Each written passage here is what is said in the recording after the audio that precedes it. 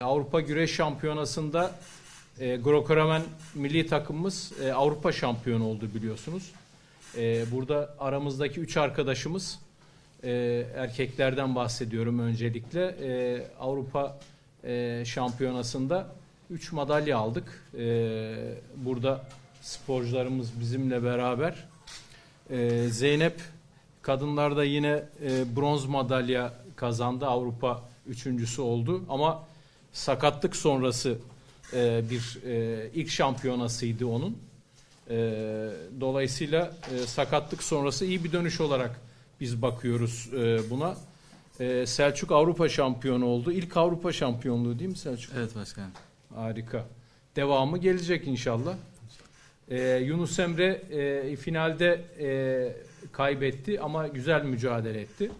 Ee, onu da tebrik ediyorum. Bron, gümüş madalya kazandı. Ee, Murat yine 67 kiloda bronz madalya kazandı.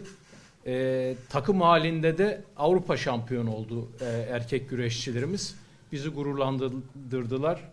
Ee, onlara e, bu e, sevincimizi e, onlarla bu sevincimizi sizinle paylaşıyoruz. Ee, öncelikle çok mutluyum. Kariyerimin e, ilk altın madalyasını aldım Avrupa Şampiyonası'nda. Daha önceleri e, Dünya ve Avrupa Şampiyonası'nda e, bronz madalyalarım vardı. Ama tabiri caizse e, şeytanın bacağını kıramıyorduk.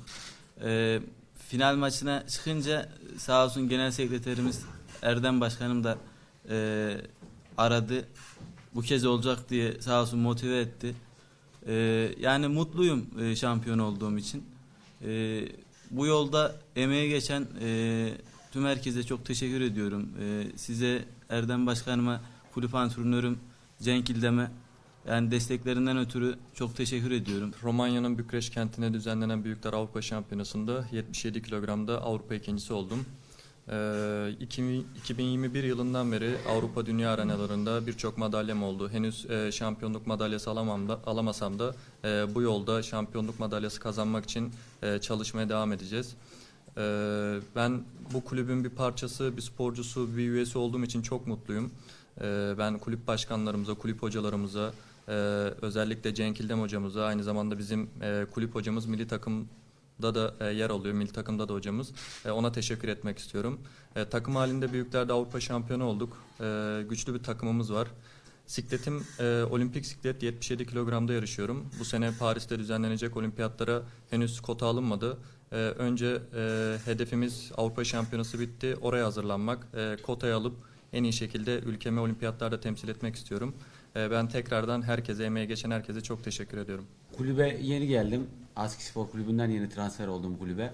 Bu kulübe e, ilk bir bronz madalya kazandırdım. İnşallah önümüzde olimpiyat kotaları var. O, orada da Selçuk kardeşimle e, yarışacağız. Yani daha doğrusu ilk kotaya ben gideceğim, ikinci kotaya o gidecek. Nasipse ikimizden birisi olacak. O da aynı yine bu İstanbul Büyükşehir Spor Kulübü'nden olacak. Herkese teşekkür ederim. Ben de 53 kilogramda ülkemi temsil ettim bu yıl. Başkanımızın da söylediği gibi bir sakatlık süreci yaşadım öncesinde. Geçen yıl Avrupa Şampiyonası'ndan sonra e, maalesef bir operasyon geçirdim. E, o yüzden olimpiyat e, dünya kalifikasyon maçına katılamamıştım. E, bu yıl Büyükler Avrupa Şampiyonası'nda 53 kilogramda e, bronz madalya elde ettim. Tabii ki çok zor bir süreçten geçtik. Oraya giderken kafamda tek bir soru işareti vardı. Acaba geri dönebildim mi, yapabilecek miyim? Geri dönmüşüm, memnunum, mutluyum. Yani bütün emeğimi, çabamı sarf ettim ve bronz madalya kazandım. Şimdiki hedefim e, Bakü'de yapılacak olan e, olimpiyatlar için Avrupa kalifikasyon maçı olacak. Orada ilk ikiye girmemiz gerekiyor. Hedefim tabii ki orası. Orada olimpiyat kotasını alıp ülkemi en iyi şekilde temsil etmek.